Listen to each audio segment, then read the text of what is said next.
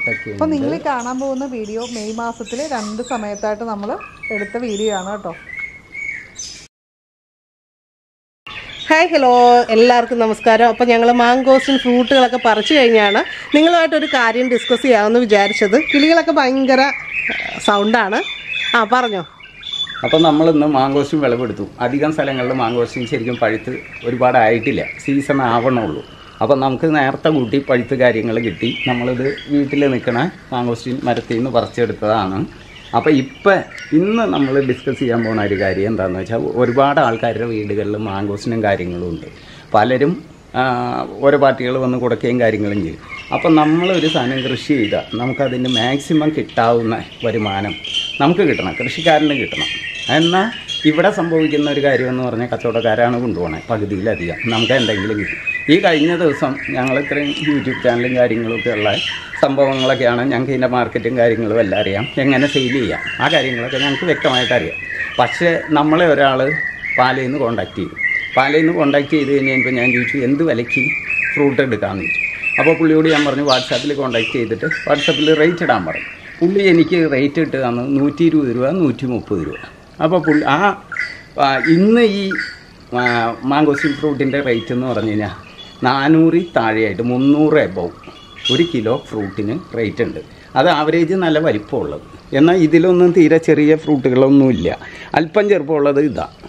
അപ്പോൾ ഈ ഈ വലിപ്പം ആവറേജൊക്കെ കിട്ടുന്ന ഫ്രൂട്ടിന് എൺപത് മുന്നൂറ്റമ്പത് രൂപയൊക്കെ കിലോ പെർ കെ ജിക്ക് കിട്ടും. അപ്പോൾ നിങ്ങൾ നിങ്ങളുടെ വീട്ടിൽ ഫ്രൂട്ടും കാര്യങ്ങളും ഉണ്ടെങ്കിൽ ഇതിന്റെ റേറ്റൊക്കെ അന്വേഷിച്ച് മാത്രം ഇത് വിൽക്കാവൂ കാരണം നമ്മൾ കൃഷി ചെയ്തുണ്ടാക്കുന്നത് നമുക്ക് ഭക്ഷിക്കാനും അതുപോലെ വിറ്റ് നമുക്ക് വരുമാനം നേടാനും. അപ്പോൾ ശ്രദ്ധിക്കേണ്ട ഒരു കാര്യമെന്ന് വെച്ചാൽ എന്നാൽ ഈ ഫ്രൂട്ടിന്റെ ഇപ്പോൾ കുറച്ചും കൂടി കഴിഞ്ഞ് ഒരു ജൂണൊക്കെ ആയി വരുമ്പോൾ എല്ലാ സ്ഥലത്തും ഫ്രൂട്ട് വേണ്ടതാവും.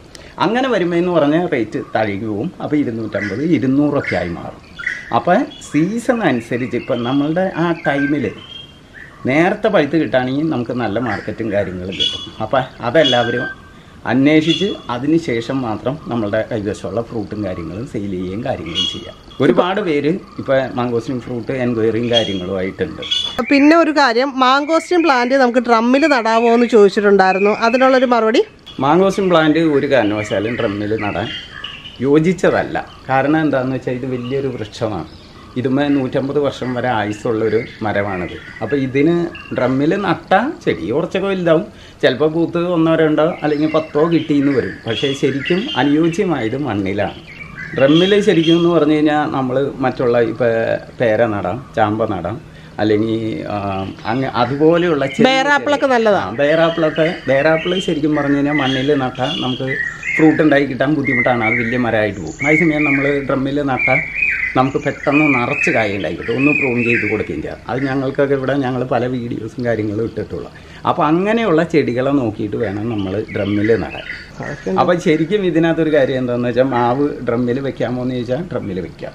എന്നാൽ ഡ്രമ്മിൽ വെക്കണേലും നല്ലത് നമുക്ക് സ്ഥലം താഴെ ഉണ്ടെങ്കിൽ താഴെ വെച്ച് കൊടുക്കാൻ നിറച്ച് മാങ്ങയുണ്ടായി കിട്ടും ഡ്രമ്മിൽ വെച്ചാൽ അതിനൊക്കെ ഇതിനൊരു ലിമിറ്റ് ഉണ്ട്. കാരണം എന്താണെന്ന് വെച്ചാൽ ഇതിന്റെ വേരുകൾക്ക് അതിന്റെ ഇഷ്ടത്തിന് പാസ് ചെയ്ത് പോകാൻ പറ്റില്ല. നമ്മൾ മണ്ണിൽ നട്ട് കഴിഞ്ഞാൽ നമ്മൾ കൊടുക്കണ വളം മാത്രമല്ല അത് ഭൂമിയിലുള്ള വളവും കൂടി വലിച്ചെടുക്കുകയും കാര്യങ്ങൾ ചെയ്യും.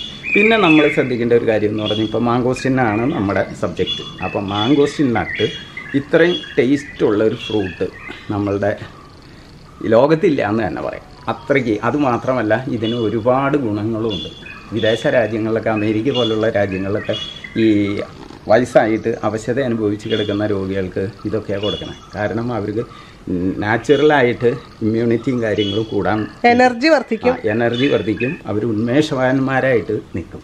അപ്പോൾ നമ്മളായാലും ഇത് കാലത്ത് രണ്ടെണ്ണം കഴിച്ചാൽ വളരെ നല്ലതാണ് ഞങ്ങളിപ്പോൾ സ്ഥിരം കഴിക്കുന്നത് നമ്മുടെ ഫ്രൂട്ടിന് അത്യാവശ്യം നല്ല സൈസ് ഉണ്ട് നല്ല വലിയ ഫ്രൂട്ടാണ്. ഇതിന് നമ്മൾ ചെയ്തതെന്ന് പറയുന്ന ഫ്രൂട്ട് അടിച്ചു കൊടുത്തു എന്നുള്ളതാണ്. അതുകൊണ്ട് തന്നെ പെട്ടെന്ന് തന്നെ എല്ലാം ആ കറക്റ്റ് സീസണിൽ അതായത് നേരത്തെ തന്നെ നമുക്ക് പാകമായി കിട്ടി. എന്ന് തോന്നുന്നുണ്ടോ? അത് ശരിക്കും പറഞ്ഞു കഴിഞ്ഞാൽ ഇത് മൂന്ന് മാസം കൊണ്ടാണ് നമുക്ക് പൂവായി കഴിഞ്ഞാൽ പാകമായി കിട്ടണേ. പക്ഷേ ഇത് ശരിക്കും ഇപ്പം മൂന്ന് മാസം ആയിട്ടില്ല. അപ്പോൾ ഞാനിത് ഒരിക്കലും ഇപ്പം പഴുത്ത് കിട്ടുമെന്ന് വിചാരിച്ചില്ല. കുറച്ചും കൂടി കഴിഞ്ഞിട്ട് പഴുക്കുള്ളൂ എന്ന് വിചാരിച്ചിരുന്നത്. കായ്കളൊക്കെ ആയതിനു ശേഷം നമ്മൾ പഴവർഗ ചെടികൾക്ക് സ്പ്രേ ചെയ്ത് കൊടുക്കേണ്ടത് ബ്ലൂമിന്റെ കോമ്പിനേഷനാണ് അതെന്താണെന്ന് വെച്ചാൽ ഈ വർഷം കായ്കളുണ്ടായിട്ട് അടുത്ത വർഷം കായ്കൾ ഉണ്ടാകാതിരിക്കുന്ന അവസ്ഥ പരിഹരിക്കാനായിട്ട് ബ്ലൂം സ്പ്രേ ചെയ്യുന്നത് വഴി സാധിക്കും. പിന്നെ കായ്ക്ക് കൂടുതൽ വലിപ്പം രുചിയൊക്കെ വയ്ക്കാനാണ് നമ്മൾ ഫ്രൂട്ട് സ്പ്രേ ചെയ്യുന്നത്.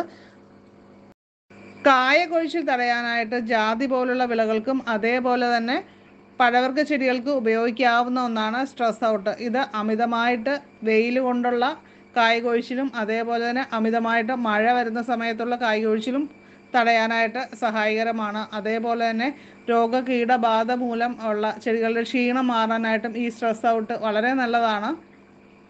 ഇതുപോലുള്ള ഓർഗാനിക് വളങ്ങൾ ആവശ്യമുള്ളവർ നമ്മൾ വീഡിയോയിൽ കാണിക്കുന്ന വാട്സപ്പ് നമ്പറിൽ കോൺടാക്ട് ചെയ്താൽ മതി. നമ്മളത് ഡി ടി ഡി സി വഴി അയച്ചു തരുന്നതാണ്. നമ്മുടെ ഗ്രോയുടെ റിസൾട്ടാണ് ഈ കാണുന്നത്. ചെടി നന്നായിട്ട് പുതിയ പുതിയ ചെനപ്പുകളുണ്ടായി. ഇതിനൊക്കെ നമുക്ക് പരിഹാരമായിട്ട് ഗ്രോ തന്നെ അടിച്ചു കൊടുക്കണം. ഗ്രോ നൈട്രോക്കിങ് സ്പ്രെഡോൾ അടിച്ചു കൊടുക്ക- കൊടുക്കണമെന്ന് നിർബന്ധമില്ല. നമുക്ക് വേറെ ഓപ്ഷൻ ഉണ്ടെങ്കിൽ തീർച്ചയായിട്ടും അതും ട്രൈ ചെയ്യാവുന്നതാണ്. അങ്ങനെ മാങ്ങോസ്റ്റിൻ നല്ല പഴുപ്പായത് കാരണം ഞാൻ പൊട്ടിച്ച് നിങ്ങളെ കാണിച്ചു തരാം. അങ്ങനെ നമ്മളുടെ റംബൂട്ടാനാണ്. റംബൂട്ടാനിൽ പല സെക്ഷനായിട്ടാക്കി കൊല്ലത്തെ കാലാവസ്ഥ വെച്ച് ഉണ്ടായേക്കണേ. ഇപ്പം ചിലത് കളർ മാറ്റം തുടങ്ങി.